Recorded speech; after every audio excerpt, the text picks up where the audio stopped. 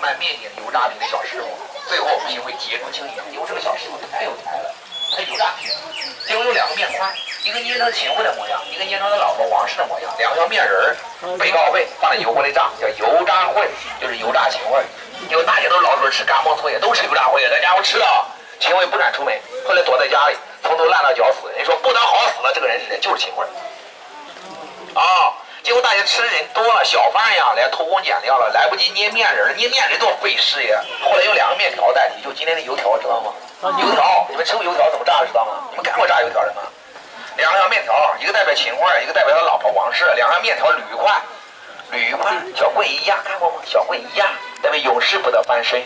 丢到油锅里还要掐头去尾，叫碎尸万段。炸成焦黄色再捞出来吃，叫咬牙切齿。啊，拧一下，拧一下丢进油锅再炸，炸焦了再吃。就现在的麻花，知道吗？吃油条吃麻花都是表示对秦桧的恨。那如果这辈子你都不知道油条麻花啥味的，完了，你跟秦桧就一伙的，还说啥呀说？啊，这就是七九年建的，前八字都被弄烂了，前八字只有一个木是真的。对，七九年前八字都没弄，十多的木头，谁来谁砸一下，谁来啪啪两巴掌，谁来这蹬一脚，啊，后来用铁栅栏围起来。就那脑门也被干烂了，喜欢倒霉不就算了？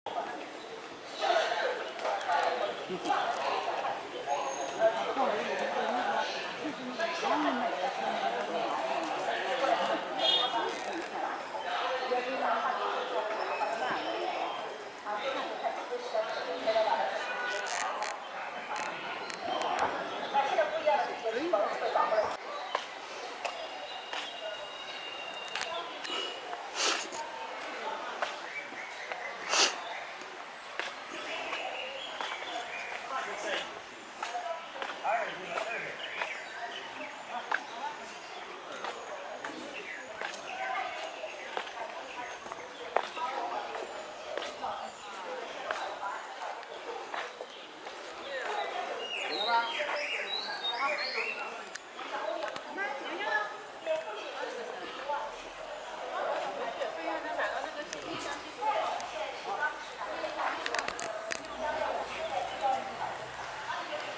江山有待后来人，因为今天的中国还没有完全统一，所以这个国字一直没有点上去。五个小字，我做一个解释，在国字的边上五个小字叫仆人洪朱书。仆人是哪里人？福建人。洪朱，明代著名的宫廷御用书法大师，他的名字叫洪朱，所以仆人洪朱书。赶紧拍照，赶紧拍。杭州所有的小学生新生入学的第一课，中学生的成人礼。官员到杭州来就任，地道的地方。